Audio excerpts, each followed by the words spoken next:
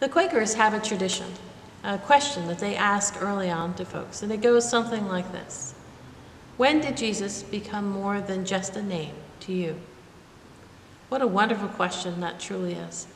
A question that each of us can ask ourselves in the season, this Easter tide, this 50 days when we get to reflect on the post resurrection Jesus, on the amazing events that happened, the stories that are told, the truths that are revealed.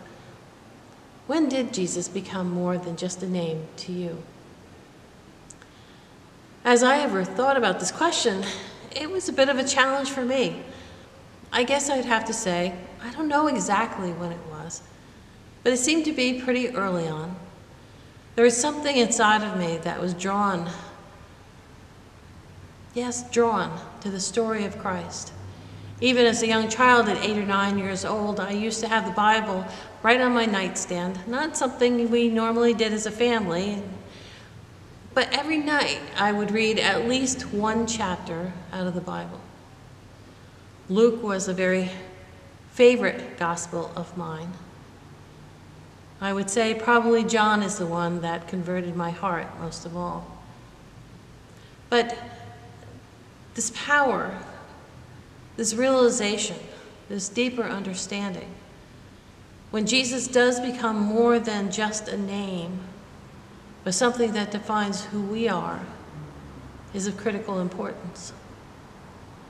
Sometimes it can be helpful for us to look at that question or reflect on that question through the eyes of others. For those early disciples and apostles back at the very beginning, when this was all very new and they didn't have anybody else to go to to ask about what their experience really was except each other, I think that they are stunned and startled, at first afraid of the changes that are about to unfold. But as the realization grows, as their understanding expanded,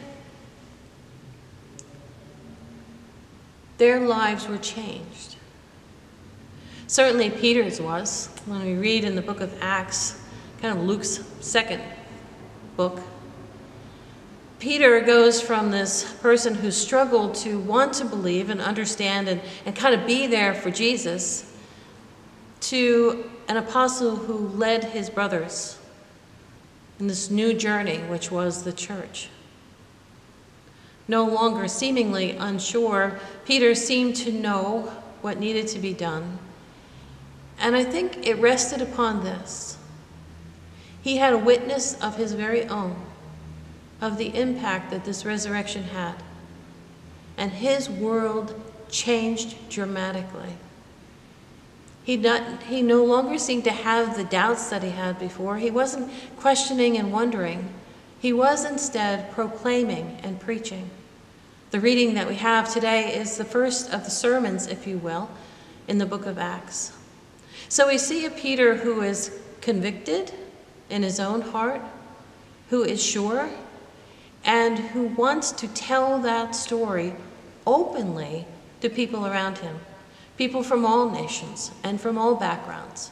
From very early on, we understand that this gospel, which is revealed and gifted to us, is a gospel for all peoples, for all nations.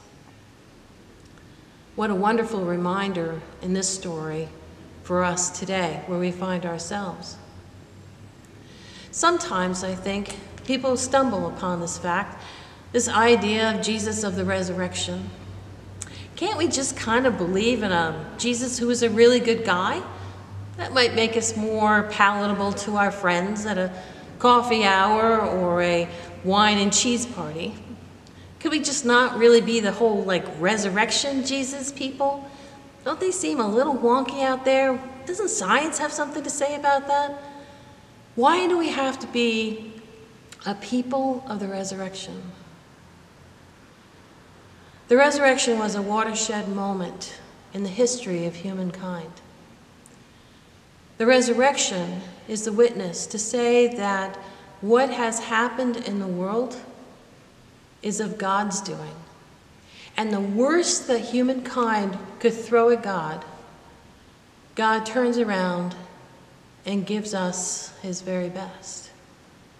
He gave us his only son and would not allow him to see corruption or decay. He was unjustly crucified, suffered horribly.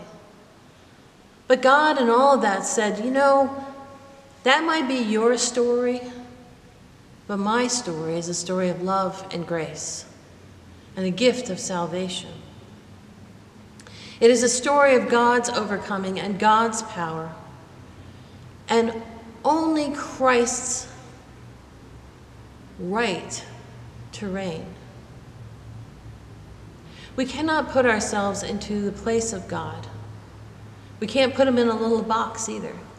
God will never be held by our convictions or understandings. God is a wonderful mystery that is beyond our comprehension, but by his grace, never beyond his reach.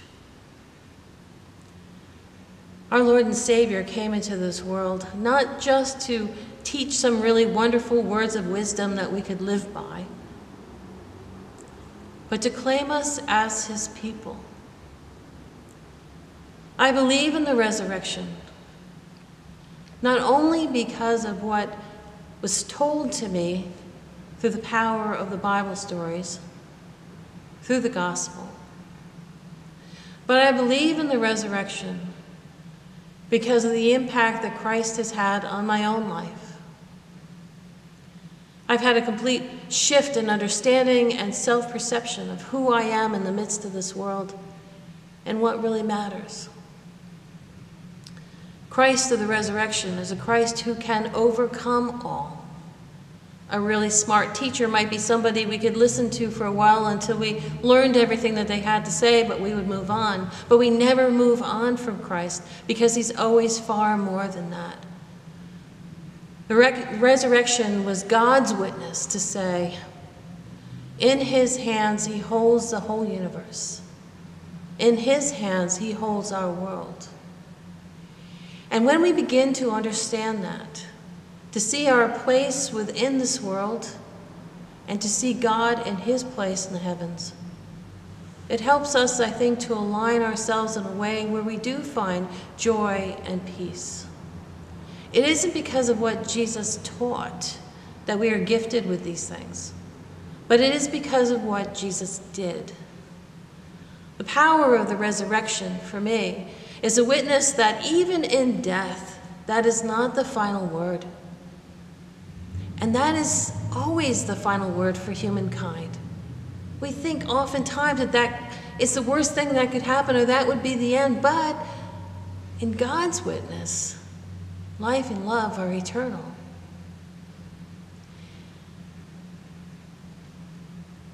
In the world that we find ourselves today, this time of sheltering, this time of not being able to gather as the body of Christ, it doesn't stop us from drawing closer to our Lord. It doesn't stop us from making and finding time to be in His presence, to ask Him to reveal Himself to us, to help us grow in our understanding and our faith. The sheltering in place does not stop us from reading our Bibles, from exploring the Word, from sharing with each other, either through emails or phone calls or beyond. Instead, this is a wonderful time for us to ask ourselves that question When did Jesus become more than just a name to you? Has he become more than just a name to you? And if not, why not? And if so, how so? I am humbled that God would call us as a people at all. We're so broken and we get so many things wrong. At least I know I do. And yet, in spite of that, our Lord reaches down from the highest heavens, from across the millennium, to call you and me into his kingdom, to surround us with his love to allow us the gift of understanding and faith that helps us to understand whose we are in this creation. This time of sheltering will cease. I hope we don't emerge from it the same people we were when we entered into it. If so, I think we will have lost a wonderful opportunity. These days are difficult. Growth is hard. Change seems harder still. We know that when we emerge from this, it won't be exactly the same world it was before. How could it be? And yet, and yet, in the season of Eastertide, we can always and consistently be reminded that our Lord and Savior rose from the dead and ascended into heaven and sits on the right hand, which means a position of power with God, in God, as God, the Holy Trinity, united, one, sacred. This is the Lord that we worship and adore. This is our God. In the name of Jesus Christ, may your Eastertide be blessed. Amen.